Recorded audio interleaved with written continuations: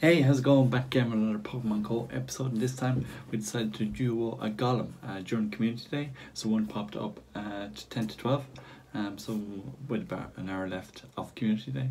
So we jumped in, I had Weather Boost, and I had Rock, Throw, and Rock Blast. We jumped in with Kyogre, two Gyarados, Vaporeon, Exeggutor, and another Kyogre, which is okay. The very first attempt, we did come extremely close. Um, we both fainted at the same time, just at the end. I'm going to pop that video right on this side of the screen. It's going to be the far right, and so that was our first attempt. We both fainted at the same time, as I said. Unfortunately, um, we should have uh, better communication. We should have been watching uh, the screen more closely, and one of us jump out quicker.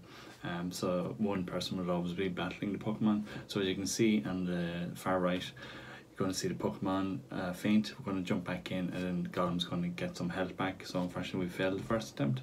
Second attempt, we did much much better. So you're going to see that now, and uh, see if we caught it. So let's jump in and see how well we got on.